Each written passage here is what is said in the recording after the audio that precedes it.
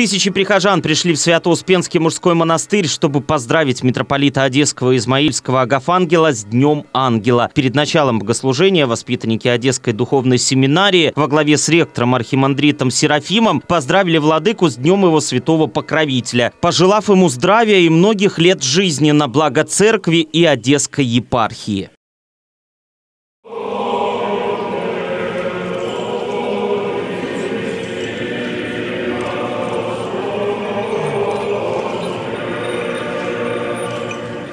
Бы поздравить владыку Агафангела с днем его тезаименинства, днем ангела.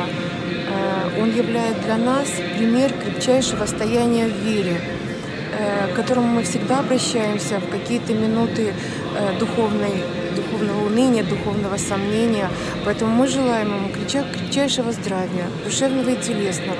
Мы желаем ему обильнейшей благодати Божьей, которую он так щедро делится со всеми своими прихожанами, со всеми своими духовными чадами.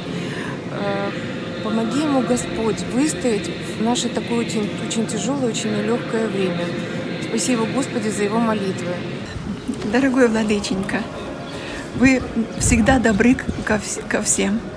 Вы щедро даете свою любовь людям. Вы смело плечо подставляете под наш подворок наших забот и болей. Спасибо вам огромное за это.